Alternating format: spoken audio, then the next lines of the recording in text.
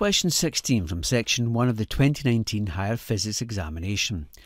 A photon of energy 6.40 times 10 to minus 19 joules is incident on a metal plate. This causes the photoemission to take place. The work function of the metal is 4.20 times 10 to minus 19 joules. The maximum speed of the photoelectron is, and you're given the five choices. Taking a look at our data sheet of equations, you can see that the kinetic energy of the photoelectron emitted can be found from HF minus HF naught. That is the energy of the photon, take away the work function.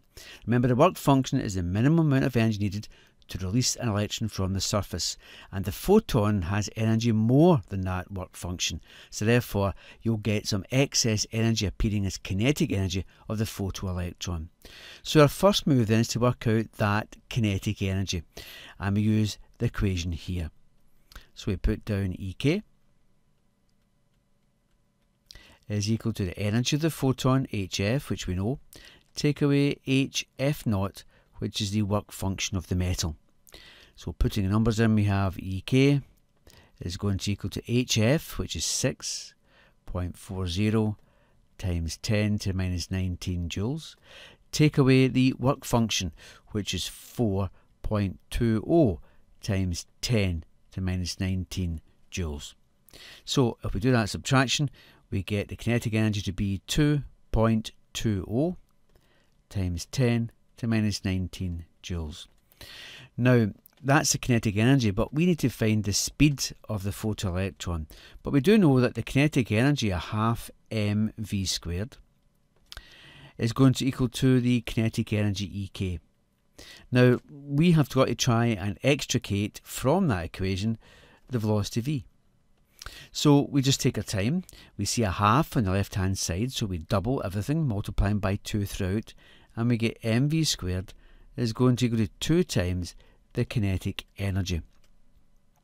Dividing by m all the way throughout, we get v squared equals 2 times the kinetic energy divided by the mass of the photoelectron. And finally, the speed of electron itself, we must take the square root of double the kinetic energy Ek divided by m. And that gives us the speed of the photoelectron. We know the kinetic energy and we need to know finally the mass of the photoelectron.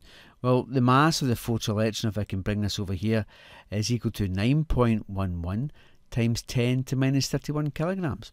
So now we're in a position to work out the speed of that photoelectron. We'll do it here.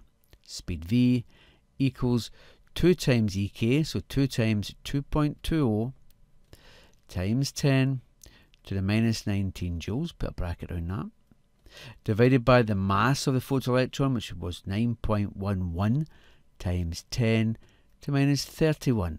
And remember, it's the square root of all that. So when we do that in our calculator, we end up with a answer of 6.95 times 10 to power 5 meters per second. So that will be the speed of the photoelectron. Question 17 from section 1 of the 2019 Higher Physics examination. Waves from two coherent sources S1 and S2 produce an interference pattern. Maxima are detected at the positions shown. The wavelength of the waves is 28 millimeters. For the third minimum at P, the path difference S2 to P minus S1P is, and we're given our five choices. Now, once you get a interference pattern, you know where the maximas occur in terms of path difference.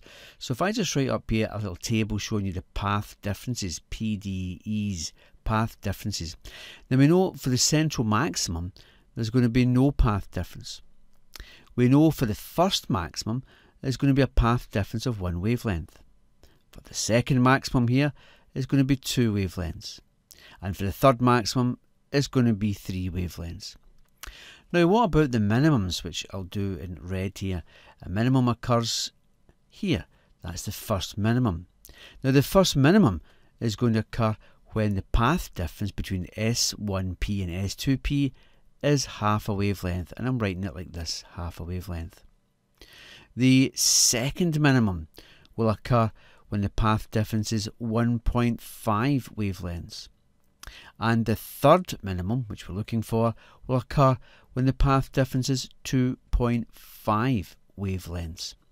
So that's a pattern we have to remember. So from our diagram, we know that the path difference, I'll just write it like this, path difference, which we know is equal to S2P take away S1P. So what is the path difference in this case? The path difference is going to be 2.5 wavelengths to the third minimum. But we know what a wavelength is, is 28 millimeters. So therefore, we have the path difference S2P take away S1P, the path difference must be equal to 2.5 wavelengths, which is 2.5 times 28 millimeters. So we work that out in our calculator, we get an answer of 70 millimeters. So the path difference between S2P and S1P must be 70 millimeters, which is answer C.